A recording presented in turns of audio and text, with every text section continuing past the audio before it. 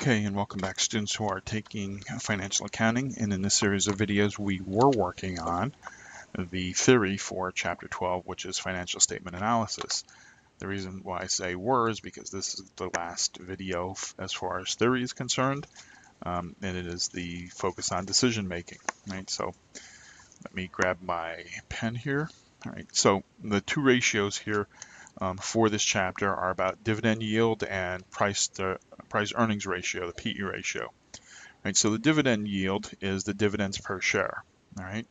Um, so if the company had a dividend per share of say, you know, one, right, and we're dividing it by the current market price per share of stock. So if the current market price is $100, right, that's you know the price of the stock 1 divided by 100 means we have a dividend yield of 0.01, right, which is equal to 1%, right? Move the decimal over two places, 1%, right? So um, the yield on the dividend, if you dividend yield, think about it from this perspective. What's my dividend? And the word yield in relation to the price of the stock. So you know, how is uh, that dividend, what's the relationship between the, the dividend price and the price of the stock, that being the yield. At least that's how I mentally try to keep track of it in my head there, okay? Remember, I don't memorize the formulas. If I need a, you know, a formula and I don't remember it, I can just quickly open up the book and, um, uh, you know, find a page or do a search on the internet in order to uh, find the formula for that particular ratio, but it does help um, to have some kind of conceptual knowledge of what that uh, ratio is trying to accomplish. Right now, the big one here, and it's the last one, is the PE ratio. The PE ratio is the current price per share. Let's say it's $100, and my current earnings per share. All right now, current EPS is earnings per share, and You've um, we've actually covered the earnings per share in a previous uh, focus on decision making, so I'm not going to go over it again.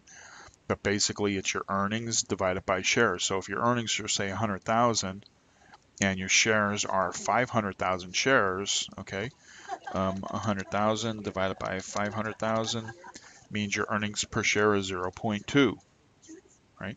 Your earnings divided by the number of shares. That's your current EPS. So if I have 0.2, I'm taking my current price of the per share is 100, right? And my EPS is uh, 0.2. 100 divided by 0.2 is 500. Okay. Now, um, I was just making these numbers up as I was going along here. Um, but this here from an investment perspective, a lot of people pay close attention to this PE ratio. Why? Because they're looking at, you know, notice the components here. We have the price of the stock, we have the earnings of the stock, and we have the shares of stock. Those three components are make up, you know, are part of this earnings, the, the PE ratio. So as a quick down and dirty, a lot of, you know, the higher the PE ratio, the less you want to invest in the stock. All right, because it says the price of that stock is overvalued. In this case here, a $100 price, but the earnings is per share is only 0.2 and has a PE ratio of 500. That's way too high. Okay, um, actually, um, in theory or a while ago, um, the general kind of rule said that the PE ratio, um, you want to invest in companies obviously with a low PE ratio. So let's say the earnings per share, let me erase some of this here. Let's say the earnings per share still was 0.2, but the price of the stock was a $10 stock, okay? So now your PE ratio is only 50, all right? Well, even that is way too high, okay? Um, most businesses want, you know, most investors would just take a quick look and they want PE ratios of 20 or less. All right. um, before they even consider because the price would be very, very low. Um, and therefore they get more bang for the buck. I mean, if you have a hundred thousand, you know, say a thousand dollars um, to invest in a stock and the price is a hundred dollars, you're only able to get 10 shares of stock. But if the price of the stock is one dollar, right, now you're able to get a thousand shares, right? And is that it's easier for a one dollar stock to go up than it is for a hundred dollar stock to go up.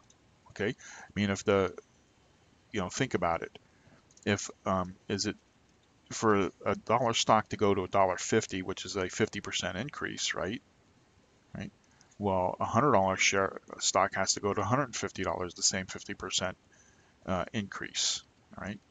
Um, it is much easier to go from a dollar to a dollar fifty than it is to go from 100 to 150, and you're going to have more shares. So um, the business investors kind of want a low uh, price to earnings ratio. Now, how low is low? At one time, like I said, it was like they were looking at $20 or less. Okay, but today in today's environment, um, that rule of thumb doesn't really hold true as much anymore. Yes, uh, investors still look at PE ratios, but it all depends upon the industry itself. I mean, when um, you know, you have to look at not, you know, you can't look at just the company. Okay, you actually have to look at the sector and the industries in order to have a better idea what is a good and what is a low, uh, a high and what is a low PE ratio, right? Um, you know, uh, a low PE ratio might be 30, all right, for a particular sector, okay? And another one, it might be 50. Why? Because you have, you know, um, like for example, Apple and Google and those, their PE ratios are uh, closer to 100, okay? Um, you know, can you afford a $600 stock? You know, do you want to invest in a $600 stock, right? Um, that's, you know, for personal, uh, personal choice, right? But just realize that the PE ratio in and of itself is a key metric as far as uh, investing in a stock. It's not by any means an end all be all, but it does give a general, you know, at a quick glance, and that's what most people use it for, at a quick glance, they look at that PE ratio, and if it seems low in comparison to other uh, other you know companies, then uh, investors will then say, okay, I'll look at this this particular company versus another. You know, um, for the simple reason, you know, the the current price. Okay, remember a high price. You know, keeping the earnings per share the same. The higher the price, the higher the PE ratio. The lower the price, uh, the lower the PE ratio. And if I want to invest, I want to invest in a stock that's more likely has more room to go up um, because you know, I think about it like this. Berkshire Hathaway, right?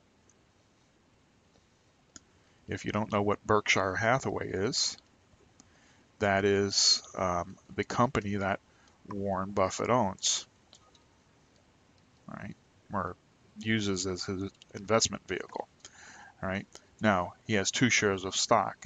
I think it's BRK a. I think it's BRK. I'm not sure the ticker symbol, um, but I'm just going to call it BRK uh, A and BRKB. So he has two different ones.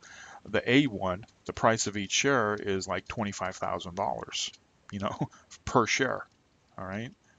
You know, do you have, you know, $25,000 to buy one share of stock? No.